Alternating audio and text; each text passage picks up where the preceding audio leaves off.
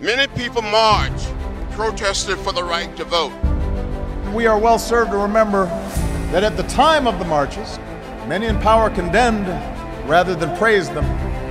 Many people were jailed, beaten, and some was even killed for trying to register and vote. What greater form of patriotism is than the belief that America is not yet finished?